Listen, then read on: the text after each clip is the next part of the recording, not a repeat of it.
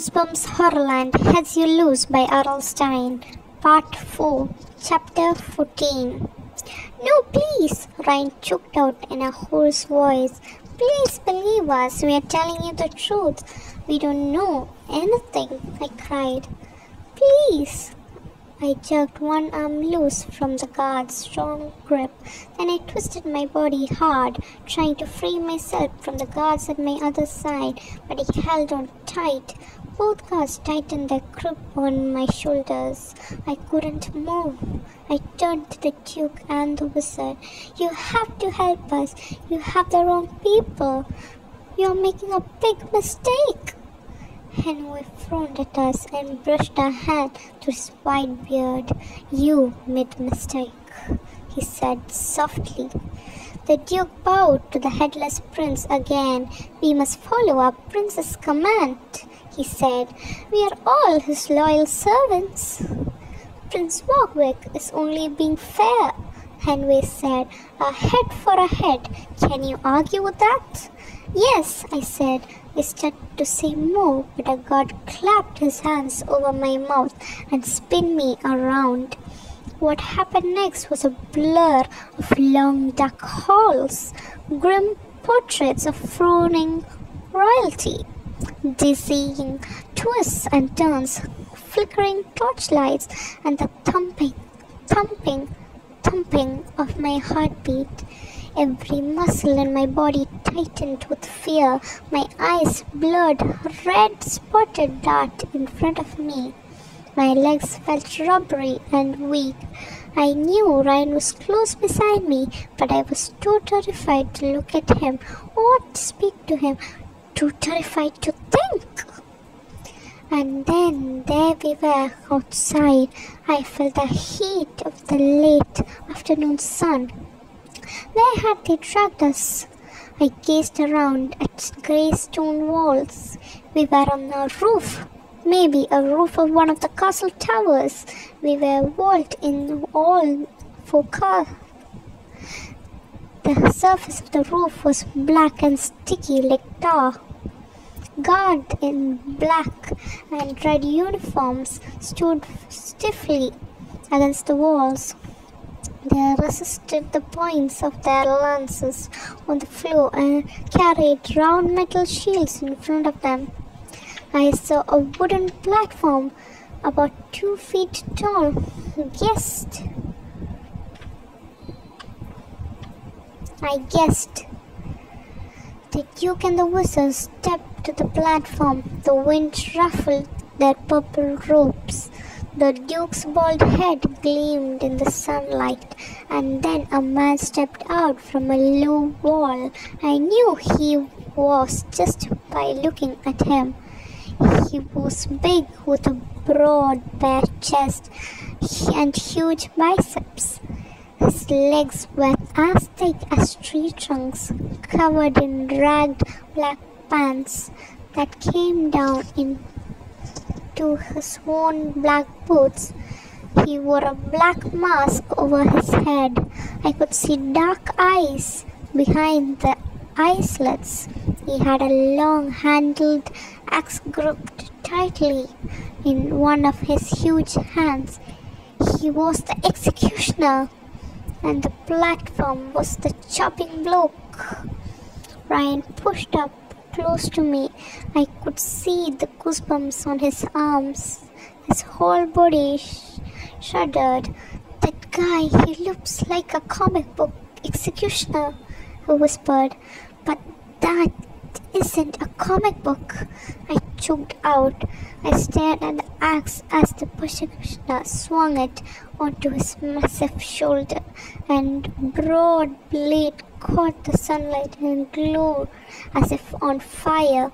The girl will go first, the Duke of Early said with a wave of his hand. Do you have any last words? Last words? Hot tears ran down my cheeks. Here are my last words, I stammered. Ryan and I have been telling the truth. My name is Scarbone, and he is Ryan Cheng. We come from a city called Tampa, Florida. I'm not sure but I think we live in the future. We are just kids. We do not belong here. We. Enough! Henry shouted. We do not have time for fairy tales. Your story do not convince us, girl. He gave the executioner a whip. Chop off her head.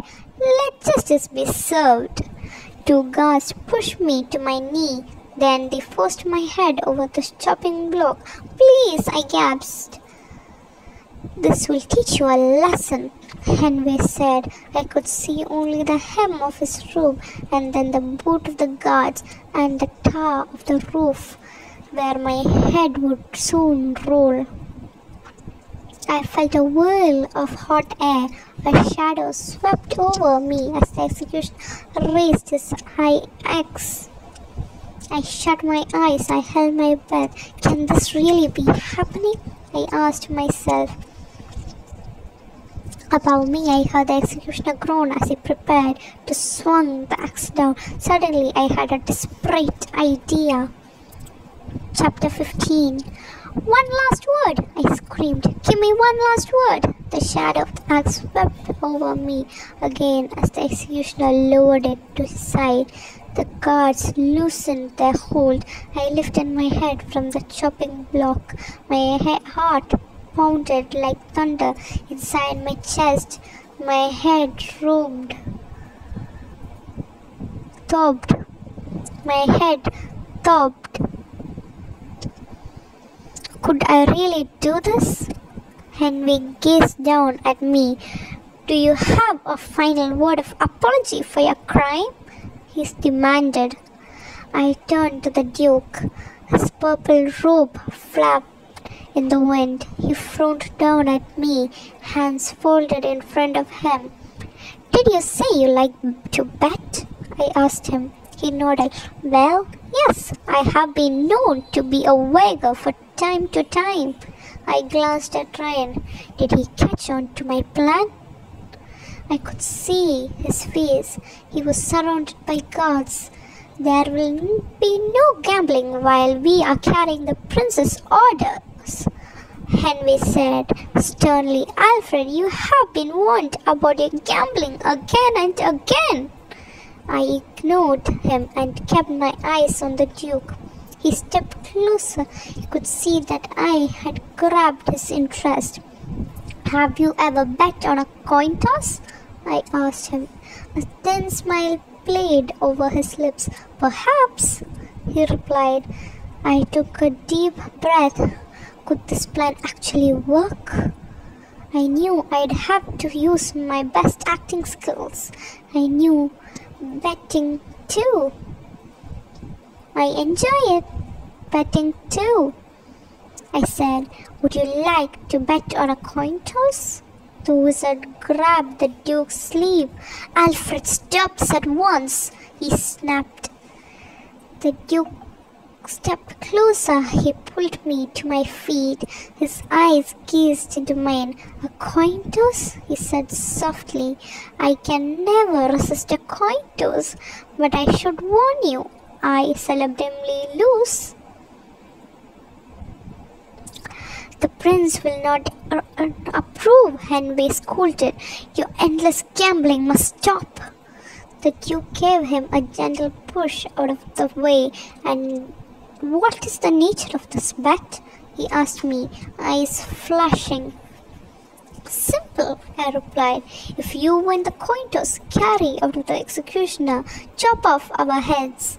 He rubbed his chin. And if you win the coin toss, then you will spare our lives, he said. Enough of this, Henry barked.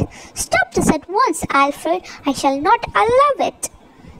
The Duke's smile grew wider. It sounds like a fair bet. I agree to it, he said. But you must know for that I will win. I am very lucky.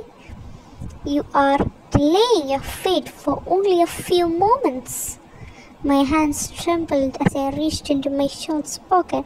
My fingers were shaking so hard I nearly dropped the gold coin. I held the coin up in front of the Duke. Shall I toss it? I asked. He nodded. Proceed. I took a deep breath. Then I flipped the coin into the air. Heads I win, I cried. We all watched it come down. It bounced once on the roof, then stuck in the tar surface. The Duke leaned down to see the result. He uttered a groan. Heads! You win, girl! He pounded his fist against the side of his legs. How was this possible? I never lose! He made a grab for the coin, but I picked it up first and stuffed it back into my pocket before he could examine it. Then I pumped my fist in the air. We win! We win! We win! Ryan cried, jumping up and down. But our celebration didn't last long. Henry scowled at Duke and brushed him out of the way. I'm sorry, the wizard said his cold eyes locked on mine, but I cannot allow the Duke's foolish vigor to stand. He motioned to the big man beside the chopping board block. Executioner, prepare your axe. Chapter 16 No! I shouted. The Duke turned angrily to the wizard and stuck out his chest. A wagger is a wagger, he said. Henry shook his head. It was an inappropriate wagger. I do not care, the Duke shouted back. My honor is at stake. I must keep my word. Henry ran a hand through his thick white hair. I had my fingers crossed tightly. Who was going to win this argument? Henry let out a disgusted sigh. Very well, be a fool, he snapped at the Duke. Spare their lives. Yes, we win, I thought. But then Henry added, Take them to the castle dungeon. After a few days down there, they will beg us to chop off their heads. Huh?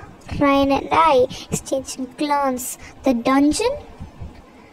I could feel my heart drop into my stomach. A frightened cry escaped my throat. A few seconds later, the sun disappeared behind us. We were forced down deep, dark the stones were damp and covered with slimy green moss. Ryan and I kept slipping on the hard, slick stairs.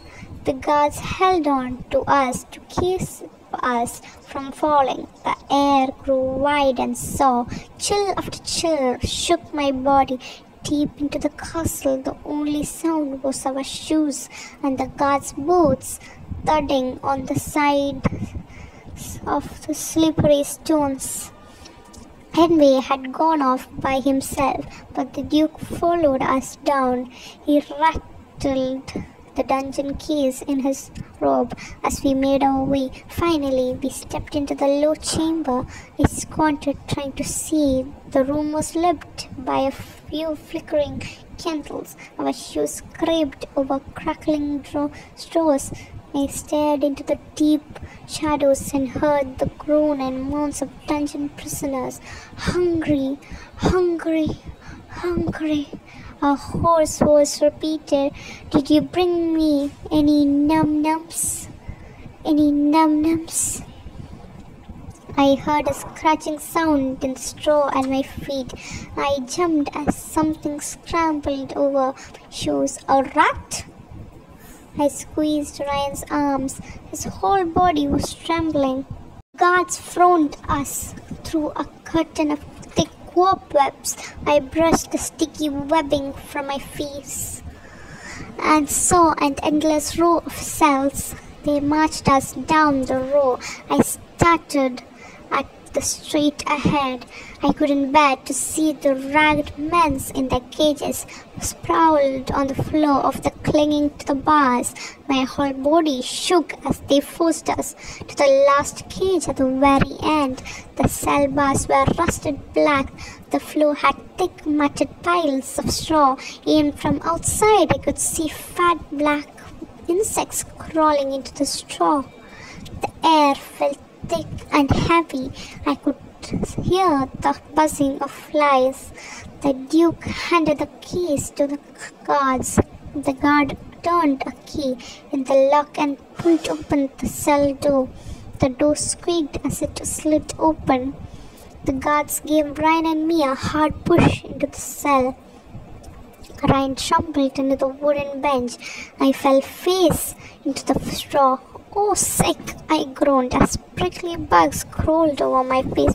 I jumped to my feet, slapping at my cheeks. I brushed bugs off the face of my t-shirt. My whole body started to itch.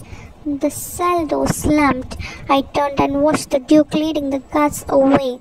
Hey, come back! Ryan shouted.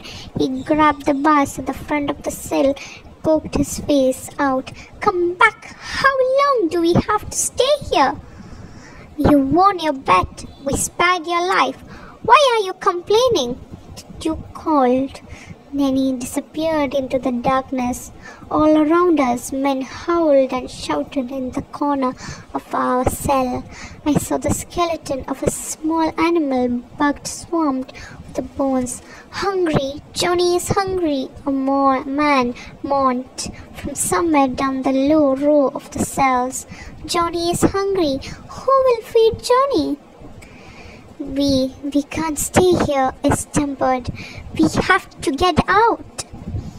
Ryan nodded but didn't say anything. He hugged himself, trying to stop the shakes. This is too weird, I muttered. We have to think of something. Suddenly, a face appeared in the cell next to ours. A pale, bald man with grey eyes, sunk deep into their sockets. He opened his mouth, and I saw that he had no mouth, no teeth. I am innocent, he said in a horrible raspy whisper like chalk on a chalkboard. My name is innocent. My mother named me innocent. How can I be guilty? Ryan and I startled at her, him. He didn't know how to reply. He waved a bony hand like a limp white fish. Did you bring me a treat? Can I have my treat now? Sorry, no treat, I said, my breast fingers over my nose. The man smelled like rotten meat. But my name is Innocent, he rasped. Then he spotted a fat black spider on the dungeon floor. He grabbed it and popped it into his mouth. Thanks for the treat, he said. He sank back into the dark shadows of his cell. I shivered. Ryan was still hugging himself. I could see my reflection in his sunglasses. My hair was total mess. I smeared dirt down one cheek. We have to think hard, I said. Some kind of magic brought us to this awful place. Maybe some kind of magic can help us escape. Ryan nodded. Maybe, he said in a tiny voice. The coin, I said. It was the two headed coin. Down the row, a man began to sing. His voice kept cracking. The song had no melody, and the words made no sense the singer singing made the prisoners shout and howl. One prisoner meowed like a cat. Noise echoed over the cell, low ceiling. The coin us here, I said. I had to shout over the defending howls. Don't you remember? Ryan blinked. You're right, Jessica.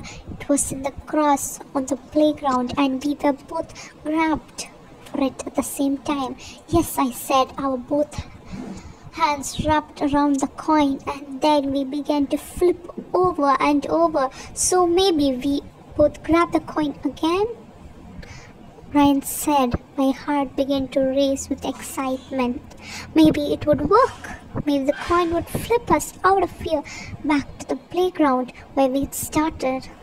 I grabbed the coin in my pocket and pulled it out, holding it between my fingers. I raised it in front of us. Okay, grab it on the count of three, I told Ryan. Are you okay? ready? One, two. But my hand was shaking so hard the coin slipped out. No! I screamed as it fell. I swept at it widely. Missed. The coin bounced into the floor and rolled into the thick straw. Oh no, oh no, I muttered. Ryan and I dropped to our knees. I began to stifle the straw with both hands. Where was it? Where? It's too dark, Ryan moaned. I can't see anything. Keep searching, I said. I swatted a fat bug off the back of my hand. Frantically, I pressed through floor. I turned and searched behind me. I searched until I had made a complete circle, searching with both hands, brushing the scraping straw out of the way. It couldn't roll far, I muttered. It couldn't. Ryan finally sat up. He pulled off his sunglasses. I could see the fear on his face. Jessica, we lost it. he whispered. We lost the coin. Chapter 17 Ryan helped me pull to my feet. I brushed off my legs. I pulled a bug off the front of my shorts. I shut my eyes. I wanted to cry.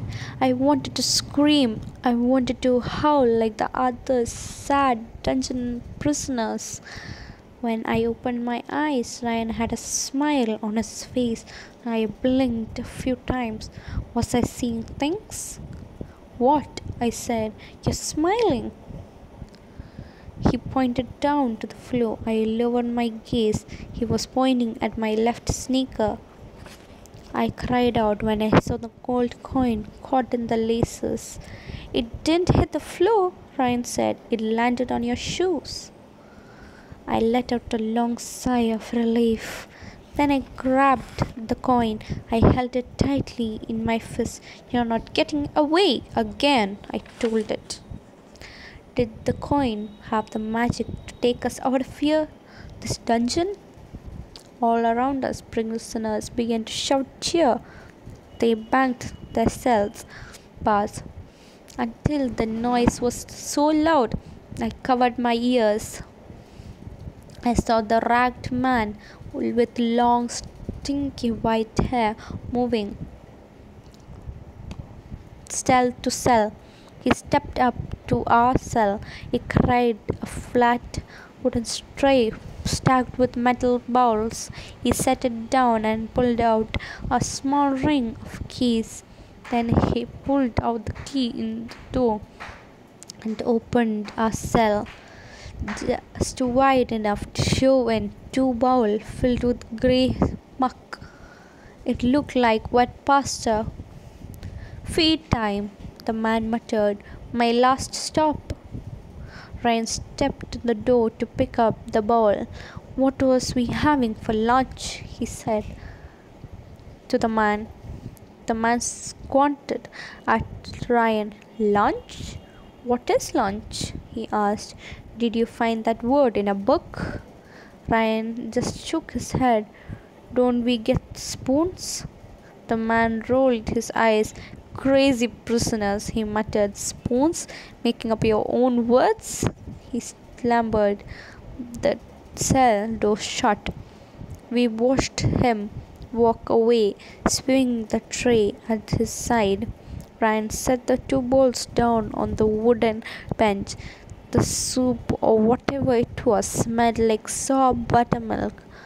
Was this our only meal for the day? I felt sick. I grabbed my stomach. Then I turned to Ryan. He was grinning again. What's up this time? I demanded. His grin grew wide. he reached behind his back and pulled something out of his pocket. I gasped at it in amazement. The footman's keys! Despite my fear, I burst out laughing. He slapped Ryan back Wow, you haven't lost your touch. When then when you're good, you're good, Ryan said. He raised the keys and we both stepped to the cell. Let's get out of here, I I said. I didn't realize how hard that would be. Chapter 18 The keys clattered on the ring. Key ring. Ryan leaned against the bars and fumbled the key into the lock. He tried and turned it. No, he said, wrong key. There were at least ten keys on the ring. Ryan took the key out. The space between the bars was narrow. His hands barely fit through. He tried the next key and the next. My heart pounded hard within each try. One of them had to work. I said, We saw that guard open the door. The cell door popped open on the next try. Yes, Ryan whispered. I glanced at the man in the next cell. Was he watching us? No, he was flat on his back, sound asleep. We were in the very last cell. No one else could see us. I said, slowly pushed the rusted door open.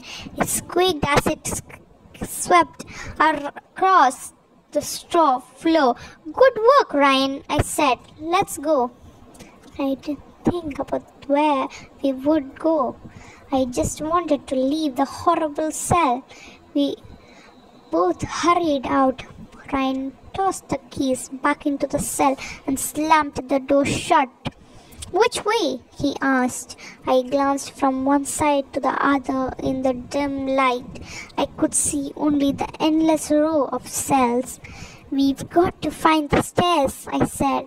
The first thing is to get away from this dungeon. Ryan pointed to the left. I think we came from that way. We started to run. Our shoes scraped the straw. I squinted hard into the darkness, trying to find the stairway. Prisoners shouted at us and howled. Let us out, someone yelled. Set us free! Freedom! I want freedom! Johnny is hungry. Johnny is hungry. We ran until we reached a wide aisle. I saw a break in the row of cells. Ryan turned. Let's try this way, he said breathlessly. He took off, then stood I heard heavy footsteps, the thudding of boots on the floor. A man coughed loudly, a booming cough that echoed off the walls. I grabbed Ryan and pulled him behind a cell. It's a guard, he said. He's coming this way. He'll see us, Ryan gasped. Hurry, I said. Back to our cells. We'll wait for him to leave. We both spun around. A shoe slipped in the straw. The other prisoner shouted and howled and begged us as we hurtled back to our cell. Freedom! I demand freedom! Let us go! Let us out! Johnny is hungry. I glanced over my shoulder. The guards were tucking lots of streets heading our way. His sword swung against his leg. He wore a long black cap that flapped behind him as he walked. We both were gasping for breath. By the time we made it back into the cell, my head throbbed and my throat ached. Hurry, he's coming, Ryan's voice crackled. Get back into the cell before he sees us. I grabbed the bars and pulled the door. The door didn't budge. It, it's locked, I gasped. Ryan ga- grabbed the door. He pulled hard, then he pushed it. No way, the door was locked. I stared at the cell, startled at the keys on the straw floor where Ryan had tossed them. We were locked out, trapped. Chapter 19 the guard was moving fast, swinging his arms as he walked. He had a sour look on his face. His eyes were locked straight ahead. I pressed my back against the bars. I pulled behind Ryan. We tried to flatten ourselves against the cell. Maybe if he kept straining, Staring straight ahead, he wouldn't come all the way down the hallway. I held my breath as he stood closer down the long row of cells. Suddenly he stopped, his eyes bulging in the surprise. You there? He shouted. I let out a gasp. He sees us. Too late to run. The guards gripped his sword handle as he began to change towards us. He narrowed his eyes at us and his expression turned angry. You there? Do not move. I felt Ryan trembling beside me. My throat tightened in fear. I struggled to breathe. The guards drew his sword. He raised it in front of raised in front of him. His cape